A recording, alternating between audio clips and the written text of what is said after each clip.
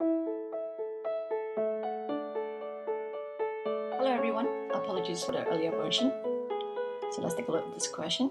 Andy left school A and walked towards school B at a speed of 90 meters per minute.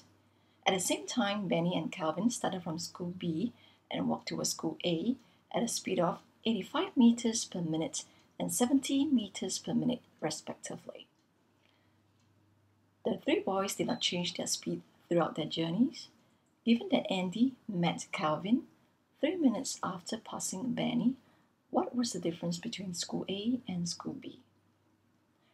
So, just begin with, let's start off with drawing the distance line and labeling your destinations, school A and school B.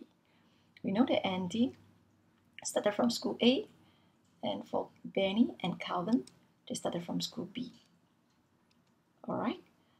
So we were told that um, Andy met Calvin three minutes after passing Benny. Andy would meet Benny first because Benny was faster than Calvin. So at this point in time when they when Andy met Benny, okay, this is the distance covered by Andy, and this is the distance covered by Benny. And when you add up these two distances, it's basically our distance between the two schools, right? And then, okay, we have another piece of information too. As you can see, Calvin was lower than Benny, was behind him. And this is the difference in distance between Benny and Calvin when Andy met Benny. Okay? So let's move on and imagine right now as three minutes later when Andy met Calvin. So this is where they would be. And you can see that again, this is the distance covered by Andy, and this is the distance covered by Calvin. And when you add up these two distances, again is the difference in distance between Benny and Calvin. Right? So the next question, are you able to work out this distance? I think we, we could, right?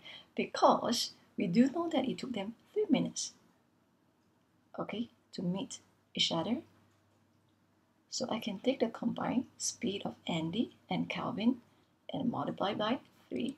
That will give us the distance of 480 meters. So Calvin was 480 meters behind Benny when Andy met Benny. Okay, so let's move back in time when this happened. Okay, when Andy met Benny, this is the point in time, and there we were told that Calvin was 480 meters behind Benny. And we know the speed, the difference in speed between Benny and Calvin is 15 meters per minute. So meaning to say that for every one minute, Benny would have covered a longer distance of 15 meters. So how long does it take for Benny to cover a longer distance of 480 meters than that of Calvin? Easy, you just take the number sentence 480 meters divided by the difference in speed. And that will give you 32 minutes. So it was from the moment they started walking.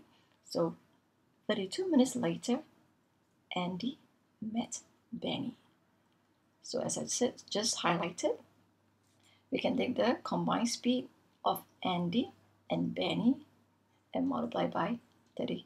That will give us the distance between school A and school B. Altern alternatively, you can use the point in time when Andy met Calvin to check your work. But that would be three minutes later, which is 35 minutes.